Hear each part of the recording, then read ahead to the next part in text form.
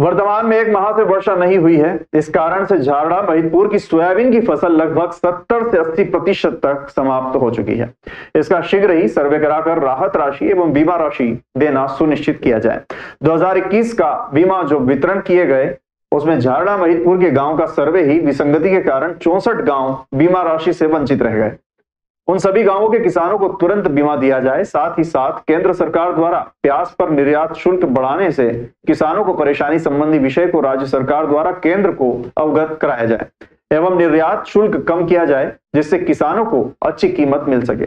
साथ ही आगामी 10 से 15 दिनों तक सिंचाई की विद्युत प्रदाय को 10 घंटे से बढ़ाकर 18 घंटे के विषयों को लेकर भारतीय किसान संघ एवं किसान बंधु भारतीय स्टेट बैंक अंबेडकर चौराहा से सैकड़ों की संख्या में एकत्रित होकर रैली के रूप में नारे लगाते हुए एसडीएम कार्यालय पर पहुँचे, जहाँ सभा को कार्यक्रम के सूत्रधार किसान नेता मनोहर सिंह आंजना, महू से तहसील अध्यक्ष पदम सिंह आंजना, जिला पंचायत सदस्य प्रताप सिंह आर्य, श्याम सिंह चौहान एवं लखन आंजना ने संबोधित किया। तत्पश्चात अनुविभागीय अधिकारी को मुख्यमंत्री के नाम ज्ञापन सौंपा गया। कार्यक्रम में तहसील उपाध्यक्ष अंतर सिंह रोडिया, मदन लाल कारपेंटर, अमर सिंह आंजना, डोंगला मोतीराम आंजना, डोंगला से भारत सिंह बीसल खेड़ी से अर्जुन सिंह आंजना चोरबासा जगदीश चौधरी दुलेट से, अर्जुन बैरागी, महू, हाकम सिंह आंजना, मोड़ी से सोमनीबाद नागू सिंह जवासिया, कमल सिंह आंजना, डोंगला, जितेंद्र सिंह आंजना, डोंगला, मान सिंह चौहान, कीटिया से, तोलाराम सेठ, कीटिया से, वीरेंद्र सिंह आक्या जस्सा, पदम सिंह आंजना, डुगरिया से, अनिल आंजना, बिनपुरा आदि सैकड़ों की संख्या में किसानों की मौजूदगी रही। जनप्रतिनिधि बाद में किसान पहले हैं।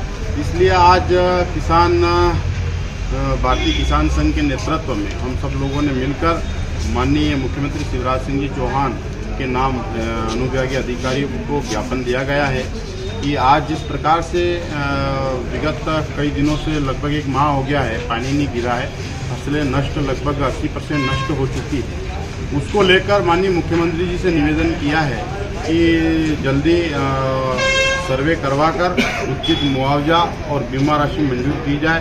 साथ ही हमने एक और निवेदन किया है कि बिजली जो इरिगेशन है, वो 10 घंटे है, उसको बढ़ाकर 16 से 18 घंटा की जाए, ताकि अपने स्रोत से जो सिंचाई करते हैं, उसमें जितनी फ़सल को बचाया जा सके, हम लोग बचाएँ।